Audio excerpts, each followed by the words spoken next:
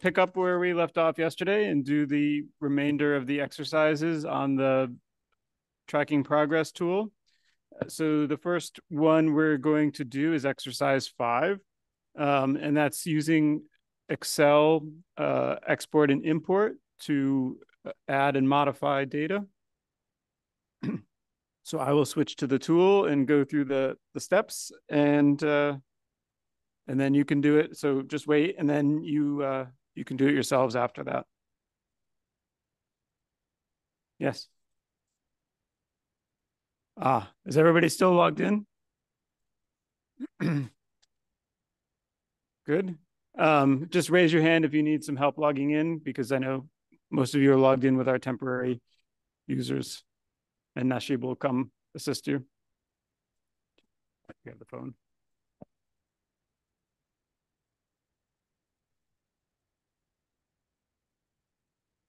Okay, so uh, we'll use this export button and I'll say current grid as Excel. It Will ask me to save it. And then I can open it in Excel.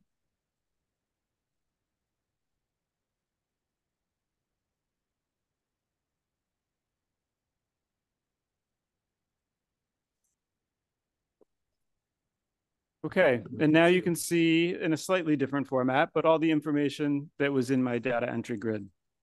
And so what I'll do is I'll add, I'll change some of the existing information so you can see what that looks like. So I'll change this 100 to 200, make this 200. And then I'll add some new data where there's none. So in my custom sector, I'll add values.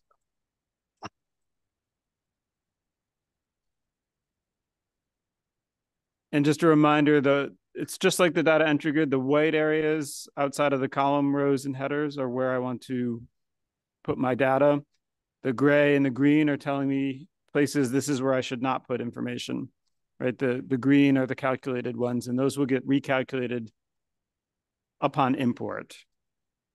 And let me just put some invalid data in here also so we can see how the system handles that. So I'll put a letter here, an invalid notation key, put a valid notation key here.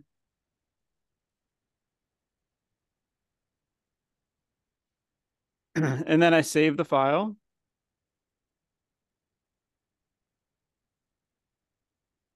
I'll go back to the tool. And the one the one thing to remember is the, the import is not over where the export is. You need to go to this options menu in the navigation tree, import the file. And I can either drag and drop or I can use select to get a normal dialog. I'll pick the file and I'll import. So now I'm in what's called preview mode, draft mode. Uh, so you can see it says data sync is paused, right? It says draft mode over here. And what it's done is it's showing me the data that it's imported, but hasn't saved it yet. So I can choose whether or not to accept this new information. Um, so you can see the my change data, that 200s that I put here. There's the information I added for that custom sector. And here's that notation key. Uh, but you'll see where I put the invalid data under waste didn't come in.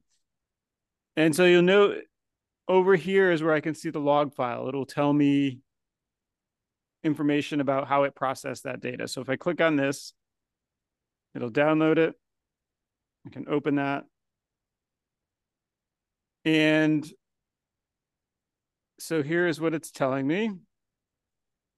So it saved that 200 for year 2025. That was the first one. But here's the error message. Cannot import value for year 25. 25.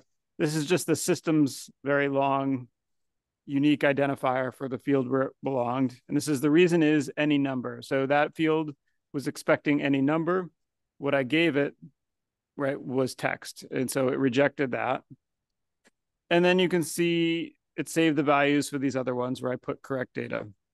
And, and the key here says import partially successful, right? So it so it doesn't fail the import if I have one piece of bad data. It just ignores the bad data uh, and imports the rest. But it does let me know that that's what happened. So let's go back. And the key is I need to remember to either cancel or save. So cancel, I'll discard the changes. Save, I'll keep that data. It says updating changes. All data has been updated. So I'm back fully synchronized and done. So that's the extent of this exercise. We'll pause now and uh, you can all try it yourselves. And just a reminder, the step-by-step -step instructions are in the your download of the presentation, the, the exercise guide. Okay, I hope everyone's had enough time to complete that exercise. We'll move on to exercise six.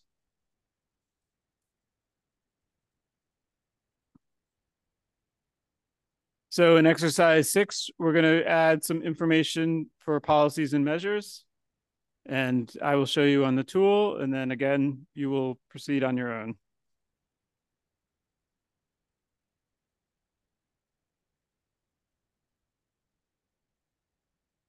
So I'll go to the 2.1 policies and measures area.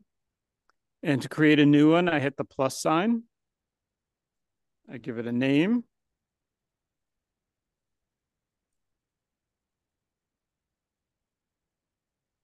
And then add new. And then you can see it's created it over here in the grid. And now to add the information, I need to click on it. And now I have the data entry form for all the information about that policy. So I will say it's included in the with measures scenario. Hopefully you all can give it a better description than I do. I can hit this plus sign to add some additional information. This will all be appended to the description in the reporting table. Um, objectives.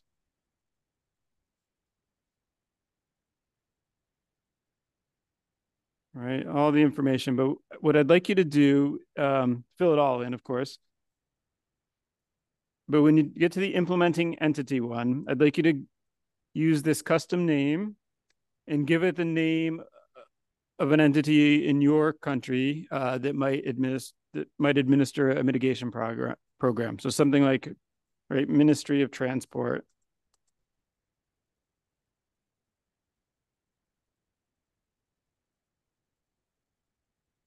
Oop, I think it didn't add it. Now, the one thing everybody needs to be aware of, you need to hit the add button not the apply before the apply selection. So hit add. It will create it, add it to your list. It will select it. And then you can hit apply selection. And now it's showing up.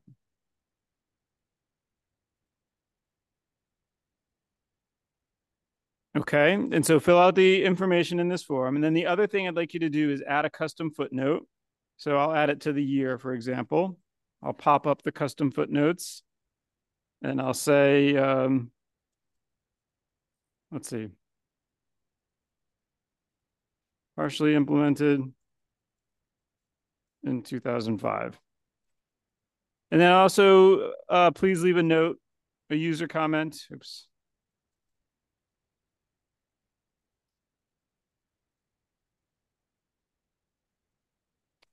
Remember, you need to hit save here. um, and then you can leave a note for someone else in your party to add a comment. This is, you know, please double check.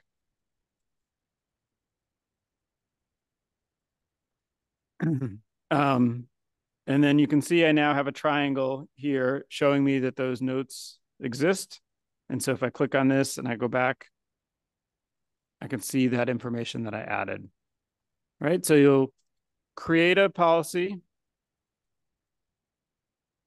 you will fill out the information in the field, create a custom entry, and finally create some user comments and footnotes. Okay, and then this is all in your exercise guide. Remember, it's uh, exercise six. Hopefully everyone has had a chance to complete that. And if you haven't, there'll still be a little bit of time left at the end, I think.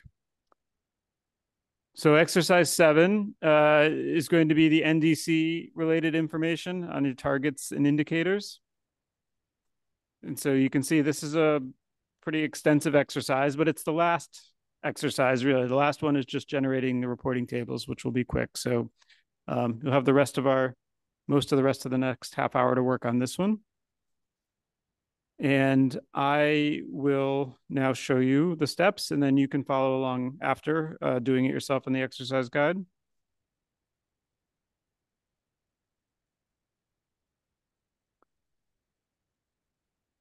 So you'll be working in the first area, the structured summary area. And you'll need to create a target first. So hit this plus sign and we'll use this first target. If you have extra time, you can work on another target after you do the first one. And you can see it's created it here, but then I need to expand it to see more information. And now I need to create it. Oh, sorry. First, let me enter the information about the target. So I need to give it a description. So we'll say 5% reduction levels by 2030. So that's just the um, description. And so now my target year is 2030. My target level, let's see, is going to be 95. My base year is 2010. All right. Okay. And so now I need to create an indicator. So I hit that plus sign and now I need to give it information about the indicator. So we'll say uh, economy-wide emissions. And I won't fill in the rest of this. You'll fill in the rest of this and the information's in the um, in the exercise guide. But if I expand this, I can see some more information. So here is the important tracking progress area and you should give numbers for the indicator. So this, in this case, is emissions. So let's make this one 98, 97. So that is, again, my indicator is my emissions, and this is showing what the emissions are for these two years in which I'm tracking progress. And then I need to go to the progress made, and this is where I give my description of progress to date. So we could say Emissions decreasing 1% per year. On track to meet target before 2030. Okay, anything you want there. So that's uh, the tracking progress, creating your target and indicator, tracking progress. And then the other places you'll go are the definitions. All right, and so you can add a definition, say, pick one of these, and then you type the information in here. There's the methodologies, methodologies and accounting approaches. Um, again, you could just type some information in here. The information is in your exercise guide. And then finally, the NDC. And so this one I'll ask you to do a little differently. If you're familiar with your own country's NDC, try the best you can to enter that information um, in here. I think this this one's pretty straightforward. And this table looks almost exactly like the one that's in the NDC that you've submitted. Um, so if you have that information or you know some of it, go ahead and try to enter it in um, this way. That's the last one, the NDC. All right, so that's it. I know that's a lot, but we've got almost a half hour to work on it. So uh, we're here to help with any questions you have.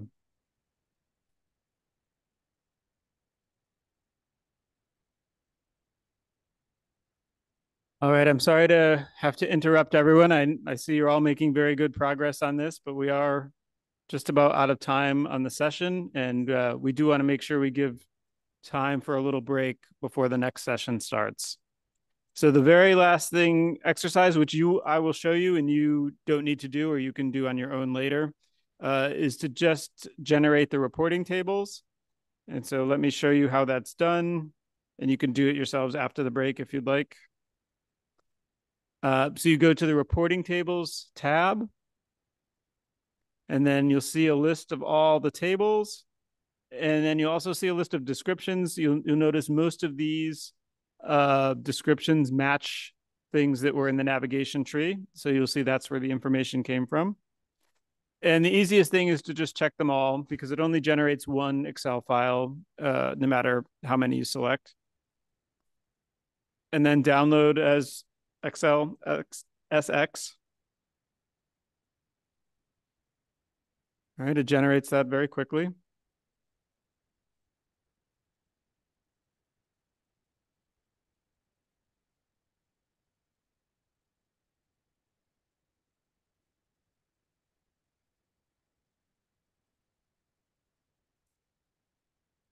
And here is the file. So the first sheet is an index sheet, which just tells you what all the others, but then each one is just labeled with the table number. They're not all 100% working right now, so some of the information might not come through, but there you can see some of the things that I've typed. All right, my mitigation policy, my projections numbers that we did earlier.